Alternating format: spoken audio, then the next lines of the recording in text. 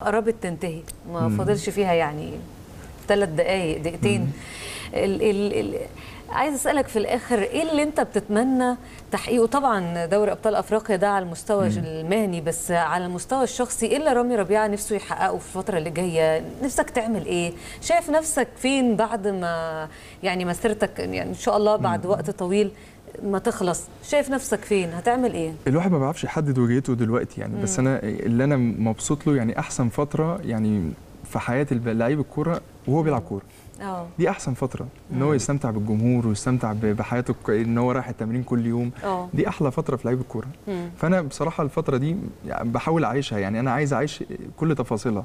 ما آه. بحاولش أضيع منها فرصة إن أنا رايح التمرين أتبسط وأروح ألعب وأتمرن وما بفكرش في أي حاجة تانية بعد كده. بفكر كل حاجة ومرحلة ليها وقتها. يعني أنا لما بعد وقت معين مثلا ممكن يجي لي حاجة تانية آه، أو حاجة أحسن مثلا من من إعلامي أو أقصد يعني تدريج كشغل كشغل آه بعد. الكوره. ليه لا؟ ما أنا بقول لحضرتك يعني مم. في أي وقت من. الأوقات طبيعي إن الواحد يفكر في كده يعني. ما لازم تجهز من دلوقتي. ما أنا وقع لا. نحاول كابتن هاني أصعب شغلانة. في. نعكس ونحاول كابتن هاني. دي أصعب لا، شغلانة. لا، إيه أصعب. ماتش عملته كابتن هاني؟ أنا أصعب ماتش أصعب ماتش في حياتك واجهته؟ لا في ماتشات كتير صعبة. كانت متهيألي من مباراة الجزائر. ماتش الجزائر؟ مباراة الجزائر. آه. دي سنة 89 مباراة كانت صعبة جدا.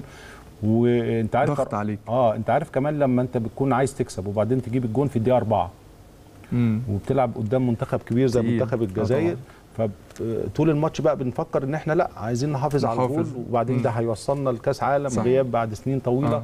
كان عندي لسه 19 سنة فكان الماتشات ال- ال load كان عليه عالي بس طبعا هرجع تاني أقول لك الجماهير. جماهير 120 ألف متفرج في ال- في ضغطك ال- الجزائري بيشيلوا أي حد زي ما بقول لك في آخر دقايق آه كان في هجوم علينا لكن ال second spirit والروح القتالية اللي إحنا سامعين الجماهير خلاص ناقص ثواني. فزي ما بقول لك لا، طبعا، آه. حاجة حاجة مم. مختلفة خالص مم. نورتنا يا رامي بس. عايز آخر حاجة خل- آه آه. يعني آخر حاجة تقولها للجماهير